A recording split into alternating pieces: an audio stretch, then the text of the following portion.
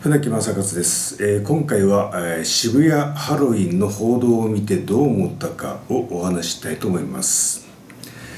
まず、えー、ニュースの映像を見たんですけどもあ人がすごくて、えでその人の数もすごいんですけどもそのエネルギーですね。あれだけの人がその渋谷に集まるとこれだけそのエネルギーがその集まるんだ出てくるんだなとその凄さにびっくりしました。でやっぱりそのあれだけの人がいますのでこういるだけでその押しつぶされたりとか怪我人が出ないのかなで出たんじゃないのかなとすごく心配にもなりましたしあとは、えー、その報道によりますとまずそのゴミの不法投棄ですね。それから、えー、痴漢盗撮あとは、えー、ひどいところになりますと、えー、軽トラックをその人たくさんの人が集まってその横転させてしまったってそういう事件もあったみたいです。やっぱりそのまあみんなが楽しい気持ちでえそこに集まるのはいいんですけども、えー、必要最小限あれだけの人が集まる場所ではあの必要最小限あのマナーだけは守らなければいけないと自分は思っています。でやっぱりその警察がその動くようなそういう迷惑行為はあの絶対してはいけないと思いますしあとは、えー、最悪その警察だけではその追いつかない追いつかないぐらいのですねひどい事態になってしまったら、まあ、あんだけの人数いますので最悪機動隊が出動してあの一般人対機動隊みたいなそんなあの事件にまで発展、えー、する可能性があなくもないなとそういうふうにも思ってしまいました。えー、プロレスの世界ですとやっぱりそのお客さんがですね興奮して、えー、リングにその物を投げたりとかですね、まあ、それがだんだん、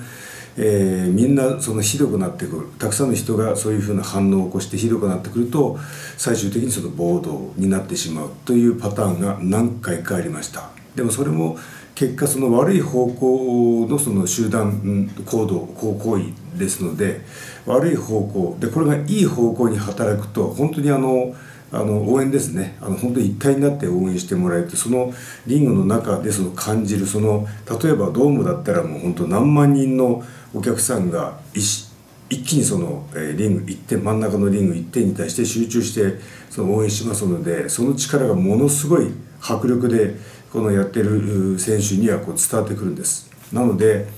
やっぱりそのたくさんの人が集まるこういうまあ、えー、場所ですね。ではそのたくさんの人が集まった力を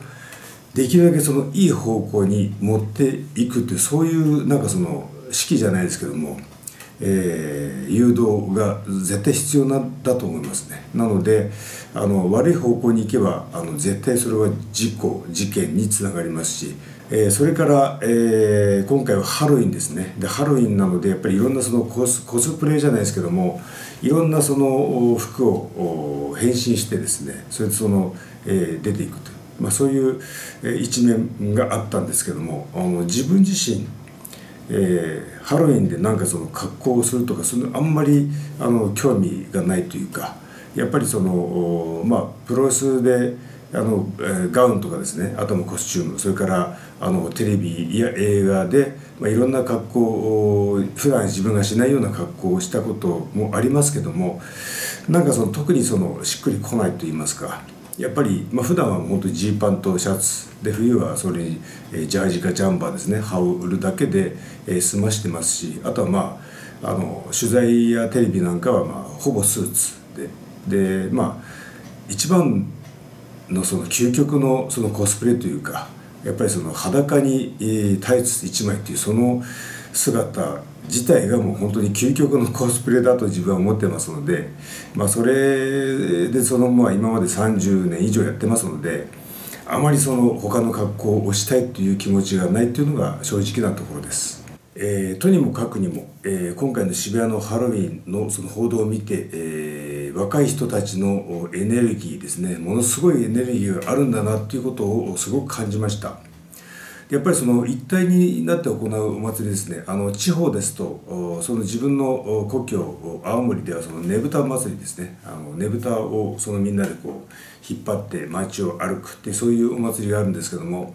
それがあの年に1回必ずあります。あとはまあ春はその桜祭りですね。で、えー、冬は雪雪祭り。でまああのえー、秋は菊祭り。なんかそういうお祭りが四季によってこういろいろあってそこでそのみんなこう集まってまああの、まあ、1週間ぐらいですかね。あのあるんですけどもそれをこう満喫するという、まあ、そこでストレスも発散するという。そういった形であのみんなあの、お祭りを楽しんでます。ただあのやっぱりその東京とかだとやっぱり人も多いですし、まあ、なかなかそういうみんなにとって大掛かりになるそのお祭りっていうのはなかなかできないと思いますのでなので今回こういうふうなハロウィンですね。ハロウィンっていうことでもうみんな若者たちがおそらく同じ気持ちになってちょっとこうここでちょっとなんか発散してあげあやろうっていうそういう気持ちでみんなあのこう集合してしまってって起きたその事故でもあったと思うんですね。なのでまあやっぱりそのたくさんのこのエネルギーを自分の考えはたくさんのエネルギー若い人たちのたくさんのエネルギーをあの大人たちがですね大人たちがいい方向にその導いていくこれが一番重要だと思いますね。なのであのまああの仕事もいいんですけどもやっぱりその仕事ばっかりそのぎゅうぎゅう詰めにするのではなくてまああの例を出せばそのブラジルのそのリオのカーニバルみたいなですねあのぐらいその大きなあのお祭りとかをですねたまにそのまあ年に4回とかでもいいのであの東京でもなんかものすごい広い場所を使ってこう実施するイベントを作ったりしてそのなんかあの発散場所を提供するのはどうかなと思いました。今回は、えー、渋谷のハロウィン報道を見てどう思ったかをお話ししました。ご視聴ありがとうございます。